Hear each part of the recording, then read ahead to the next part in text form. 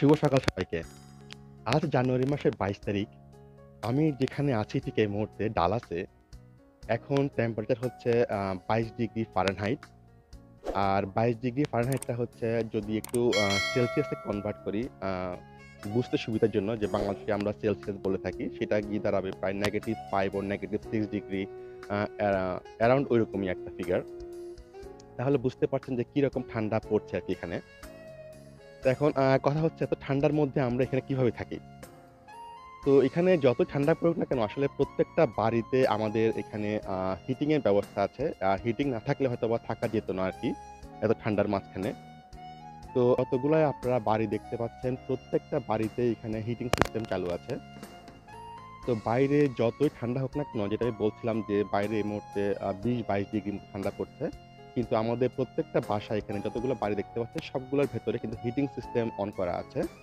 তো, প্রত্যেকটা বাসায় হয়তো বা এই মুহূর্তে সেভেন্টি বা সেভেন্টি টু এরকম করে রাখা আছে হিটিং সিস্টেমটা যেটা আমার বাড়িতে এই মুহূর্তে আছে সেভেন্টি ডিগ্রি করে করে রেখেছি আর কি আমি। তো, ভেতরে কিন্তু খুবই কমফোর্টেবল একটা জোন আমাদের অত ঠান্ডা আমাদের লাগে না, কিন্তু বাইরে এই মুহূর্তে অনেক ঠান্ডা। তো কিছু জিনিস আসলে আমেরিকানদের আসলে খুব অদ্ভুত আর কি যেটা আমি বলছিলাম যে এখানে ফারেনহাইট বলে, কিন্তু অন্যান্য দেশে যেটাকে সেলসিয়াস বলি আমরা, এখানে কোনো কিছু বাই করতে গেলে আমরা পাউন্ড হিসাবে বাই করি। আর অন্যান্য জায়গায় যেটা কেজি বা কিলোগ্রাম হিসাবে বলি, বা বা লিকুইডে আমরা যেটাকে লিটার বলি, এখানে সেটাকে আমরা গ্যালন হিসাবে কিনে থাকি। তো কিছু জিনিস কিন্তু আসলে উল্টা আর কি তো একটু পরে আমি কাজে বের হব। তো সকালবেলা গাড়ি স্টার্ট দিতে বের হয়েছি আমি। তো গাড়ি আসলে সকালবেলা একটু অন করে না রাখলে খুব প্রবলেম হয়ে যায়। যে আপনারা জানেন যে উইন্টার টাইমে আগে একটু ইঞ্জিনটা স্টার্ট করে রাখতে হয়। তো এ- এ সময়, প্রায় সময় দেখা যায় কি, যদি গাড়ি স্টার্ট করে না রাখি ইঞ্জিনটা ডাউন হয়ে যায়। তো আরেকটা জিনিস আসলে আমি দেখাবার জন্য গাড়িতে যাচ্ছি। যে অন্যান্য জায়গায় যেটা হয় কি, যে ড্রাইভার কিন্তু আসলে রাইট সাইডে বসে, কিন্তু দেখা যায় কি আমেরিকাতে আমি গাড়িটা একটু স্টার্ট দিয়ে ফেলি।